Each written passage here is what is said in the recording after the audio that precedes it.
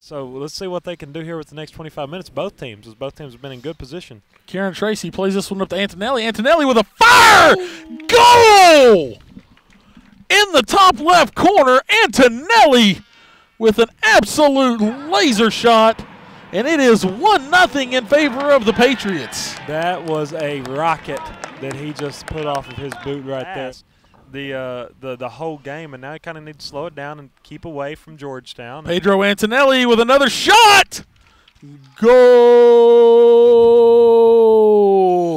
Oh yes, great shot there by Antonelli as he put it right there in the net. Now one goal away from a hat trick.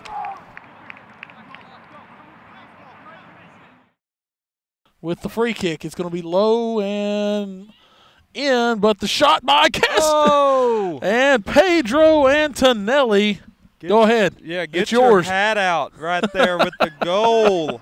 Antonelli, what a shot and what a game he is having today as that is his third goal and that was just an incredible shot right there. The Mad Hatter himself. The himself. Mad Hatter. We've now seen four goals in the last mm, 15. oh yeah, it's been a crazy last couple of minutes here. Look at Antonelli. Wow, Antonelli! Whoa! Goal from midfield! What?